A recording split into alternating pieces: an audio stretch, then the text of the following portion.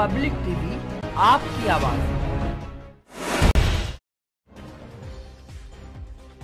वह दिन दूर नहीं जब आप फूलों की तरह मुरादाबाद टीवी मुक्त होगा।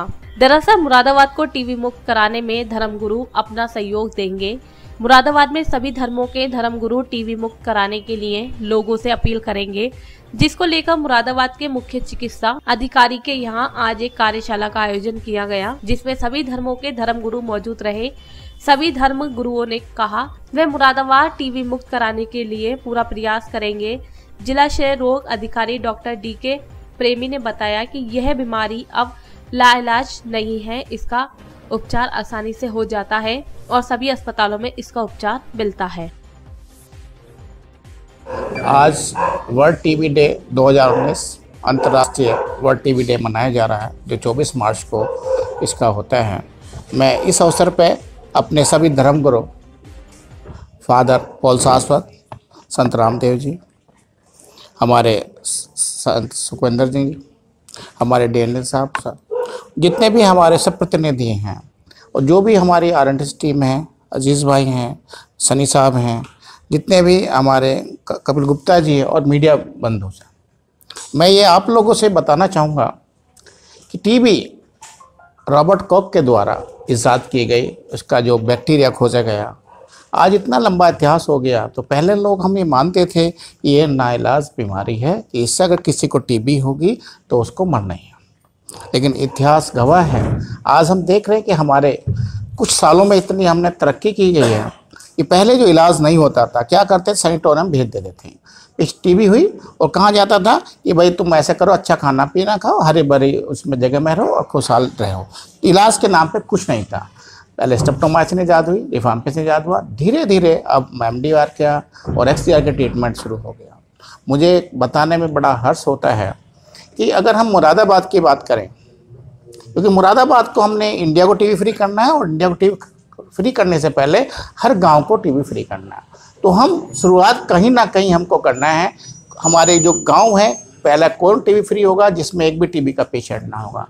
फिर उसके बाद हमारे ब्लॉक होंगे, कौन सा ब्लॉक ऐसा होगा जो टीबी फ्री होगा। उसके बाद मुरादाबाद होगा टीबी फ्री। जैसे आपने देखा होगा, पोलियो फ्री है।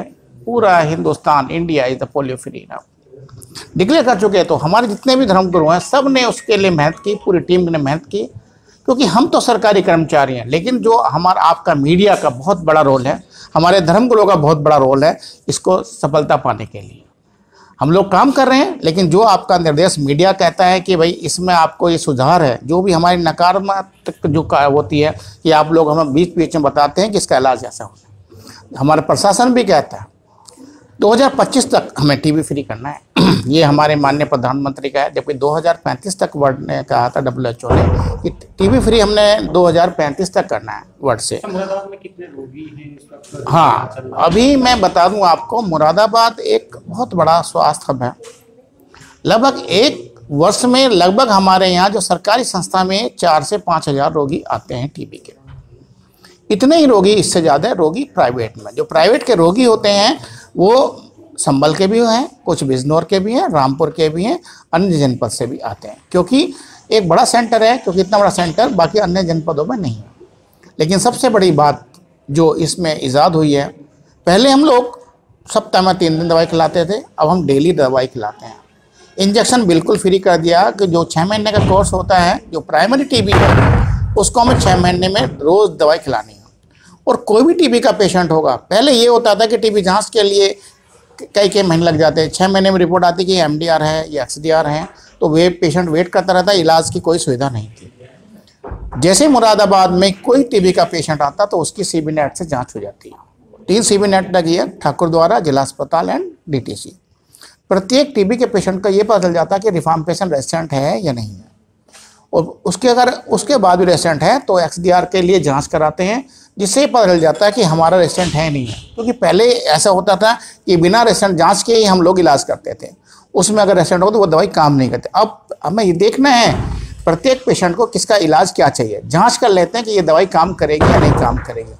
अगर वो दवाई काम करेगी तो वही दवाई हम देते हैं। अगर मान लिया एम का पेशेंट तो एम की दवाई देंगे एक्स का तो एक्स की देंगे प्राइमरी अगर ट्रीटमेंट है तो प्राइमरी ट्रीटमेंट ही देंगे। हम सब लोग यहाँ विश्व टीवी दिवस मनाने के लिए एकत्रित हुए हैं। और यहाँ से यही संदेश देना है कि जिस प्रकार हम सब लोगों ने मिलकर मुरादाबाद से पोलियो को मिटाया है, उसी तरह से ये बहुत नामुराद बीमारी है। और अभी बताया कि आज से नहीं है, युगो युगों से है, शिव पुराण में इसका ज़िक्र आता है। वहाँ चंद्रमा को श्राप देने के कारण उसे तपेदिक या टीबी क्षय रोग हुआ था। उसके बाद आप देखिए, जवाहरलाल नेहरू जी जो तत्कालीन प्रधानमंत्री थे, उनकी पत्नी कमला नेहरू को ट्यूबरकुलोसिस हुआ, ये लाइलाज होता था, सिर्फ़ सैनिटोरियम में भेज दिया जाता था कि सैनिटोरियम में जाके इलाज कराएँ और अच्छी हवा से, प्राणवायु से ही कुछ दिन जितनी लाइफ चलती थी और अल्टीमेटली उस मरीज़ की मृत्यु हो जाती थी।